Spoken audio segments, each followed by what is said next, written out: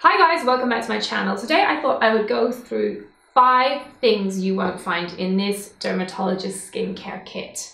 Now, most of the time what I'm recommending to patients is in line with my own philosophy to my skin, um, you know, with some nuances depending on an individual's concerns. But most of the concerns that I have, namely aging, a tendency to blemishes, redness, and pigmentation if I let the sun at my skin, are the top concerns for most of you out there in one shape or another. So um, let's get to it. My first big no-no, and you will simply never find this in my kit, is a foaming cleanser.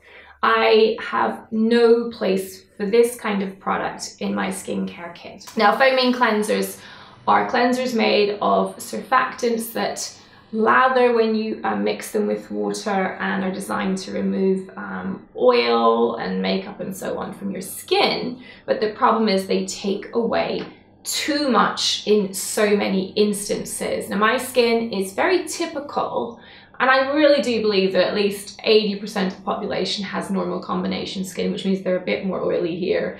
And they're pretty much normal to dry here. Um, it's just due to the natural distribution of sebaceous glands on the skin.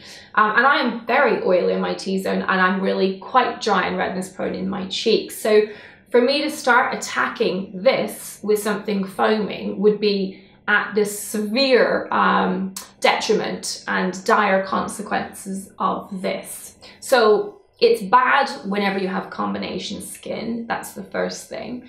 Um, and it creates an uphill battle when you then want to go regulating this and this with active ingredients because once you've got a discrepancy, it becomes much harder to use active ingredients like AHAs and retinoids. The second thing is it's just not necessary with the kind of modern cleansers that we have nowadays, which can clean the skin perfectly well without the need to overdo things and leave you with that tight wind tunnel feeling. So foaming cleansers, big no-no. Next thing that you definitely won't find in this dermatologist kit, and that's something I just don't tend to recommend um, to my patients either, are physical exfoliants. That means exfoliating products that are gritty or have texture to them. And by extrapolation, um, this also means devices that would um, equate to physical exfoliation. The reason for this is that our skin barrier is there for a reason. And there's no doubt in my mind that the advent of an increased growth in the skincare market as a whole with numerous um, products for physical exfoliation now readily available has correlated to some extent with the increase in sensitivity in skin. It's basically the fact that the more we do to our skin, the more it goes, wow, stop it, you know, back off there are so many patients I see for the first time that probably the biggest thing I do for them is to simply take away their products and give them a simple, supportive, and non abrasive routine. Um, and it really might be those things that make um, almost the biggest difference, at least in the first instance. And in particular, in those who've got thin, dry, or sensitive skin, um, complaining of burning and itching and so forth. So Step away from the scrubs, ladies. Um, chemical exfoliation can be such a powerful tool, and the reality is that most of the ingredients that we use for chemical exfoliation, which means using chemistry to dissolve away the skin cells bonds, allowing the fresh skin cells to be revealed, so many of those ingredients also have additional properties. So you're not just getting one effect, you'll get a multitude. So one of my favorites, azelaic acid, as you all know, not only is a chemical exfoliant, but it helps with redness, it helps with pigmentation, it helps with blemishes. Whereas physical exfoliation in those who are blemish prone is actually quite provocative and can drive you to yet more breakouts. So you'll never find a physical scrub in this Derms kit.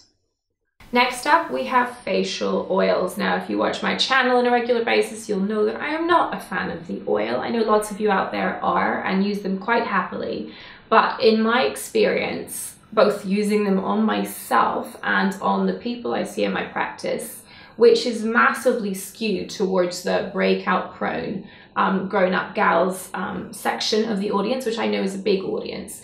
Um, they just tend to cause problems. It's so hard to find oils that are convincingly non comedogenic and won't cause concerns. Um, and by concerns, I mean that bumpy appearance in the lower face um, in combination with dull, lackluster skin, um, because often oils are used as a part of a routine that is quite trend driven rather than being science based.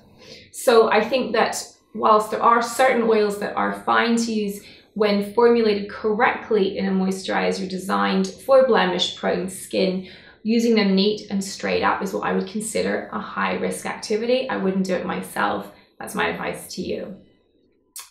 Next up, we have spray on sunscreens. Now, again, sunscreen evangelist in the house, um, and I like to be precise about my sunscreen. Now, um, in certain countries, sunscreen is literally viewed like a medicine.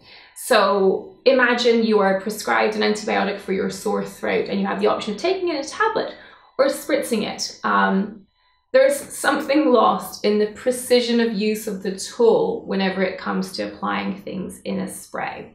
So I've just done a video on this recently, so we'll link up here to it. But when you need to reapply your sunscreen over the course of a day because you know you're not going to be in the office all day, you know you're popping out to a gym class or for lunch, please get into the habit of reapplying your sunscreen by using a tinted SPF that functions as foundation. That's certainly the way I've managed to make sunscreen reapplication work when it comes to the working day. So I can still look polished and pulled together if I choose the right product, but it enables me to apply a second layer as the day goes on so that if I'm about to be faced by midday sun, I'll have a fresh layer of protection on my skin and then I'll top up color cosmetics on, on top of the new application um, of sunscreen. So sprays aren't precise.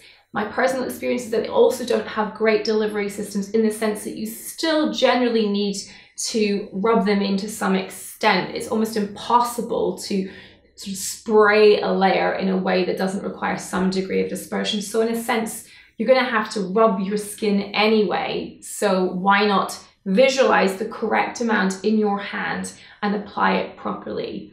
Um, a ba baby beauty blender is a great tool to carry around to kind of, you know, work in the edges around the temples or hairline where sometimes sunscreen can tend to collect. It's not a perfect system, but it's the one I found that works best for me. So sprays um, just don't really have a place in my kit. The other thing is I'm never quite sure about the level of UVA protection as they generally aren't zinc oxide based. Um, and that's how I rely on getting my UVA protection from my sunscreen as I seek out, seek out products with zinc oxide in them.